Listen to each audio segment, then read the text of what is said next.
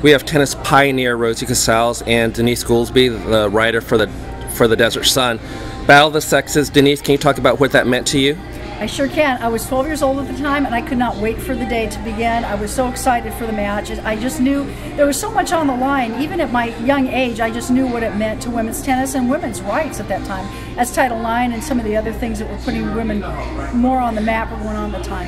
And that night when it came on, I sat down in front of my parents' old cabinet style TV on the shag carpet, green avocado and orange from back in the day. Yeah. And I sit there and cheered her on every point. point, and I just was so nervous throughout it because I like she had to win. I just knew how important it was. Even being at that young age, I just knew how important it was that Billie Jean had to win, and I had no doubt she was going to. And if I was old enough to vote to uh, bet, I would have bet on her. But um, I was thrilled. It was just it made my my my life that year. It was just really incredible for women's tennis. And what